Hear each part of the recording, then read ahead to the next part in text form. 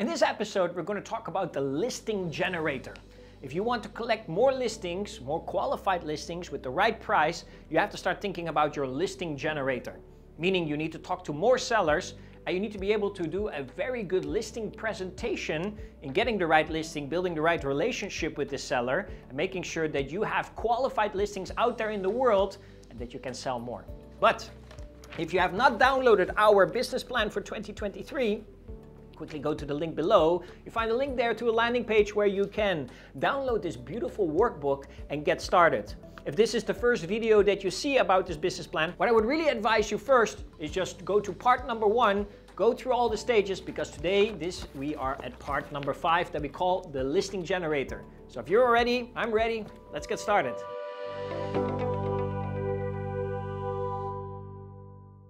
When I got started into real estate, my mentor used to tell me, listen, your listings are your inventory. And if you don't have any inventory, you have nothing to sell. So if you need to have something to sell, you need to find more listings. And that is really where we want to talk about this part about the listing generator. And this comes really in two parts. First part, I want you to start thinking about your listing presentation upgrades for 2023. One of the things that I realize out there is that agents are kind of losing the touch and feel for a good listing presentation. That means that once you meet a potential seller and he is looking to sell his property, that you want to have the most powerful, the most impactful, the most extraordinary listing presentation. This is where you need to shine. This is where you need to show the seller that you are the right fit to sell this property. And that all comes together with a great listing presentation. And that not only comes with what you say, but also in what you show.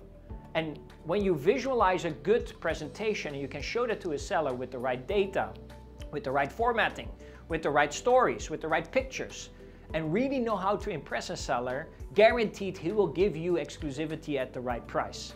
I mean, it's all about, you know, being enthusiastic to a seller, making sure that you are very sharp to a seller, and of course, showing that you have the authority and the experience of being the right person to sell a listing. All of that, I really want you to start thinking about your listing presentation upgrades. What are some of the things that you need to start upgrading for 2023 to make a better impact in your listing presentation? Maybe you are like, hey, these days I don't really bring anything for my seller, right? I don't show them anything. I just appear at the appointment and I just tell them a bunch of stuff. Maybe you say, next time I need to bring a book or at least a presentation. I need to bring my iPad and show them a few slides with some data. What at least I would advise you is to show next time, you know, the comparative market analysis or some company pictures or a marketing action plan. Don't only tell them, show it to them. So here you have some space in basically putting for yourself what are some of the upgrades you want to do for your next listing presentation, right? But how do you want to start presenting the new you in the listing presentation? How do you want to make a better impact? How, how do you want to make a better impression? Maybe you want to write something down there, you want to dress differently. You want to do some tailor upgrades. Whatever that can improve to your listing presentation so that people see you as a better authority, as a better experienced person, as somebody that has the data, that has the numbers, that can show the real deal. All of that will benefit to a better listing presentation. So this page really starts with that. What upgrades do you want to make to your listing presentation that will help you improve to get more listings, to get better listing, quality of better listings, and that you build a better relationship with that seller. Now go ahead and do that exercise first before you go to the next part. Have you done it? Yes, promised. Have you filled it up all nicely? Okay, that brings us to the next part of this great exercise. I want you to start thinking about, okay, monthly goal listing appointments. In order to get more listings, you need more listing appointments. Would you agree? And who do you need to talk to to get more listing appointments? Huh? Who? Yeah? You got it? No? What? I didn't hear you? Sorry? Sorry? What? Yes, again, yeah. You need to talk to potential sellers, or in this case, homeowners. So you need to talk to a lot of homeowners. Talk to homeowners and say, would they be potentially interested in selling their home this year, next quarter, next half year, next year, whatever it is, the more seller calls you make, potential seller calls you make, the more chances you get to a listing appointment. So what I want you to do is write down how many seller calls will you make every single month. You fill it up in the first box so that you have kind of a number in your head of this is how many calls I want to make to sellers. And then from that, write down for yourself the average conversion that you have right now to those seller calls, right? So let's say for every 10 calls that you make, you get one appointment. That means that you have a 10% conversion. Maybe you have a 20% conversion. Whatever it is, write it down there. For our example, we're just going to say that monthly, we're going to make 100 seller calls. 100. What is great, right? So 100 seller calls. And let's just take the 10%. That means for every uh, for every 100 calls that we make, 10% we get a listing appointment, right? Just write it down. It's really great to have those numbers on paper so you can see later on if you're really committed to the numbers that you're putting down there.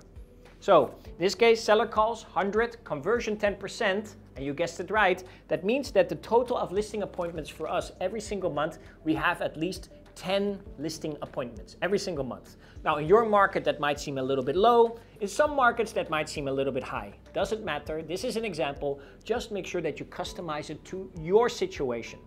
If you have a certain number already from last year, from 2022, then at least upgrade that number a little bit because you have a better listing presentation. That means now that you also can have better listing appointments, so you will make more seller calls. Now in the next line, as you can see here, now you have the number of listing appointments. And again, you have the conversion. And the conversion again, you want to see how many listing contracts can you get. Now in our case, we had 10 listing appointments and we will put in 50%. That means half from all the listing appointments that we have, we will get listings. That means that every single month we will have five new listing contracts. What is great, if I can add five listings every single month, to my list of properties that I can sell, I'm doing an amazing job. But if you have more or less, again, if it's not related to your market, find the right number that fits your market and always make sure that you up the number a little bit from your previous year. Put the numbers down there, challenge yourself, make it bigger, make it better, hold yourself accountable, and I'm sure that the numbers will get very, very, very, very close. Now the final thing that I want you to do is like this little box here, all the way at the bottom. This is your non-negotiable terms for a listing contract. Now as you can see, I put four things in there. Price, timeline, commission, and others. What I want you to do is the following. I want you to write behind every box the non-negotiable terms that you have. So I give you an example for price. Let's say that for any price in the market, you tell yourself, I'm not going to take any listing that is 3, 4, or 5%, doesn't matter. Let's take the example 5%, that is 5% above the market value or of the market rate. That is a non-negotiable term for you. That means that if a seller comes talk to you and he is asking you 10% above, then he is outside of your negotiation terms. You told yourself 5%. So that means this listing is non-acceptable for you. If the seller's not willing to come down, you're not going to take this listing. What I know it seems to be a bit hard, but again, if you go through more of our trainings, you know exactly why you shouldn't take this listing. Timeline. What is your non-negotiable term for timeline? Do you need minimal three months, minimal six months, or is your market even at a point that it needs a minimum of a year contract? Whatever it is, put your non-negotiable timeline in there. Commission, very important one. You want to put a non-negotiable term for a commission. That means if you charge 3% and you say, listen, any listing I get, I don't go lower than 3%, then that is your non-negotiable term and you put it right there right now. That is the commitment you make to yourself, making it non-negotiable, and that is your term in doing well in this market. And if you have any other non-negotiable term for listings, you just put it right there. Write down those numbers, write down those terms, and commit it to yourself. Write it down, and you want to make a promise to yourself that you will upgrade your listing presentation, you will upgrade your numbers, and you also upgrade your terms so that you're more professional, you higher your standards, and you make sure that you really show to the clients and to your sellers in this particular that you're already standing above the market. So go ahead, this is a really fun exercise if you want to do very well in getting more listings, having better listing presentations and building extraordinary relationships with your sellers. I'm really proud of you and I'm Really, really happy that you have come this far. What do we have for you in the next session? Well, let me tell you. In the next session, we will be talking about part number six, that we talk about the 10 times 10 lead generation. Yeah, we're going to talk about how you get more leads. So now we have talked about listings, we have to start talking about leads. So good luck to you, and you can go see the next video.